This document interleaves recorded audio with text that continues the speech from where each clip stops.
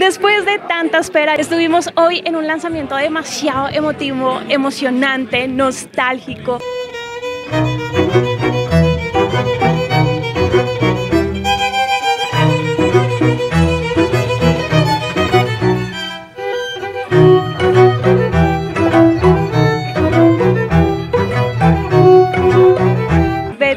Llega a la plataforma de Prime Video. Esto genera demasiado orgullo y emoción porque es la historia más vista y contada en todos los tiempos. Es un fenómeno televisivo. Fue doblada en más de 25 idiomas y adaptada en más de 28 versiones. Se ganó el premio Récord Guinness a la televisión la más exitosa en todo el mundo. Fue la pionera como la ventana más grande de publicidad. En su momento, un minuto de pauta llegó a costar 25 millones de pesos colombianos, que en su momento estaba entre 11 y 12 millones de pesos. O sea, el que pautara y saliera en Betty la Fea, la rompía. ¿Cuántas marcas ustedes conocieron gracias a Betty la Fea? Están perfectamente diseñada y creada que hasta su vestuario, accesorios, son icónicos. Yo me acuerdo que cuando salió Betty yo estaba como en quinto de primaria y todo lo que uno usara era Betty la fea. La maleta, los cuadernos, hasta las hebillas, zapatos, lo que se les ocurriera, todo era en torno a Betty la Fea y uno como niño jugaba a hacerlo. Así que quienes tuvieran gafas, brackets o similares, eso era bullying fijo.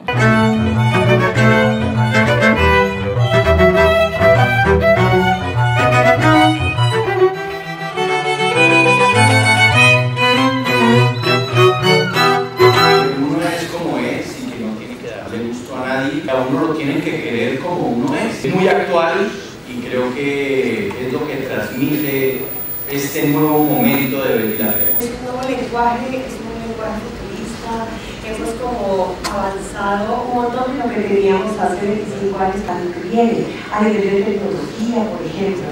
Hay una sorpresa muy bonita. Pero mira que yo veo al público súper entusiasmado. Yo, yo siento cuando nos llamaron, la verdad se me dio un poquito de miedo, un poquito de susto. No sabía cómo íbamos a, a afrontar eh, el tema de los personajes, de la edad, del tiempo, de todo lo que había pasado. Y el público también, cómo lo iba a recibir. Lo más difícil, tratar de avanzarlo, llevarlo 20 años después. ¿Cómo fue que llegaron? ¿Cómo están? ¿Qué les pasó? Las cosas como evolucionan las personas y qué pasa con la edad. Todos tenemos esa experiencia, pero qué pasaba con esa empresa que era otro personaje de la historia. Abstraer de los colores colombianos de nuestra naturaleza y de cómo se está usando en las casas de moda cómo se mueve eso y cómo son las relaciones hoy en día, ¿no? Entonces era la primera escena, sala de juntas, y los vi a todos y a mí se me olvidó que yo era actriz y mi personaje, yo era así. Ha sido maravilloso, para mí un regalo estar aquí y compartir con todos estos grandes. Y cuando empezamos a leer la escena, María, Ana María como Ana María, o sea, no estaba eh, caracterizada, ella se rió. Cuando escuché la risa de Betty, yo no podía parar de reír. Las lágrimas se salían de la emoción de saber que tenía realmente a Betty, la fea, al lado, leyendo una escena conmigo. Entonces me tuve que tomar un tiempo como de 5 o 10 minutos para reponerme. Era un reto, es un reto todavía. Lo sufrí, lo padecí, tengo que reconocerlo, no, es fácil. Amigo actor, yo le dije, oye, no sé cómo hacer esto. Y me dijo, imítalo. me voy a imitar. Empecemos a imitarnos. Agárrate con esta noticia que te voy a dar. Betty, ¿es usted? Como todo actor, cuando pues, me dijeron que volvía Betty, que volvía Hugo, pues yo me puse a pensar, ¿no? ¿Cómo sería Hugo 20 años después?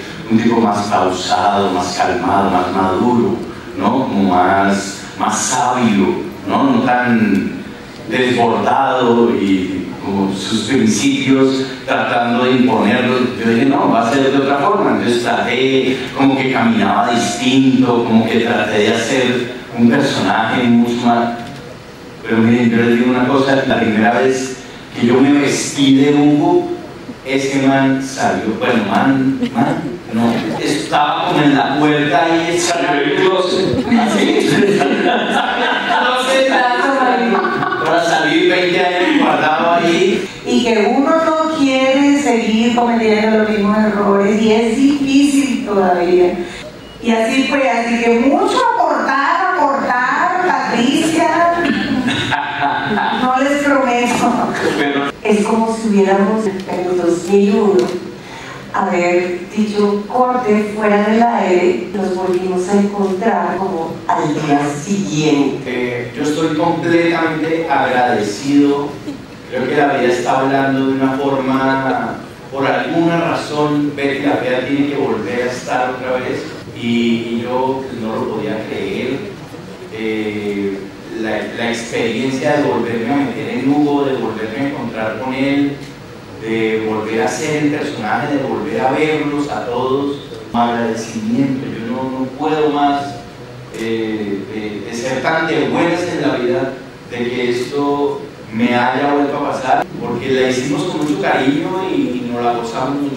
Este producto implicaba retomar esos personajes. Llegamos al sitio, empezamos a, a ensayar, pero realmente cuando empezamos a grabar la primera escena eh, y vi a todo el mundo montado en sus personajes y así con la camiseta puesta y todo, ya se me fue todo el miedo y todos los nervios y dije, no, esto sí, esto sí va a dar, o sea, esto sí puede ser. En caso de mi personaje, yo creo que, que representa un lado increíble de la historia y estar asociado con un personaje que enamora a todo el mundo. ¿Con quién se va a quedar Betty? Y yo creo que estamos en una época en donde mm, los hombres no se quedan con las mujeres son las mujeres quienes toman sus propias decisiones y establecen un nuevo rumbo que es para lo que está llamado Betty hoy en día. Yo quisiera que me quieran. la verdad, hace poco me hicieron una pregunta, que cómo la veía con respecto al grupo. La siento como un tanto tóxica. Ella es ágil, ella es curiosa, pero al mismo tiempo molesta. Es como una mosca. Sí, eh, las moscas son increíbles. Eh, como vuelan, como llegan a la comida, son estratégicas, todo el mundo las subestima, aunque no es el caso de, de Una mujer muy fuerte, obsesiva, autosuficiente. Me dijeron que si quería entrar, para mí fue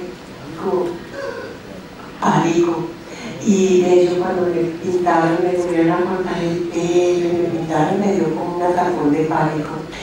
Y luego cuando ya empecé a mirar el espejo y, y luego ya llegamos a, a, grabar y eso y ya te pones como el disfraz, uno empieza ya a verlo, a recordarlo, a, verlo otra vez y fue súper emocionante.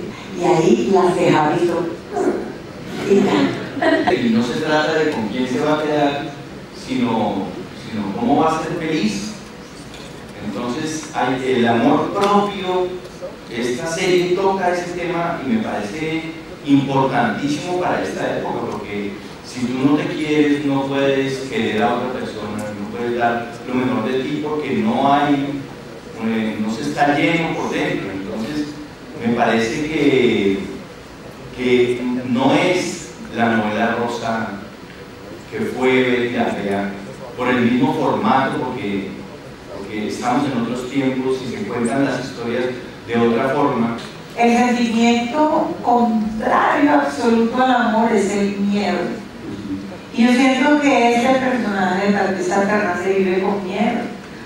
Por eso ella recurre a lo que sea para poder sobrevivir y subsistir, ¿no? Yo no siento que ella tenga ni amor propio ni nada por el estilo. Ella solo tiene un punto y es Siento que ella tiene una lucha interna para poder reconocer ese amor. Como Maritza Ariza se los garantiza, pues aquí con la mayor información de la cultura y el entretenimiento. Déjenme saber en los comentarios a ustedes, Betty, de qué manera los impactó, significó en sus vidas, cuáles fueron las enseñanzas que los marcaron, que recuerdan de ese éxito eh, por allá en 2001, en 1999. Yo soy así.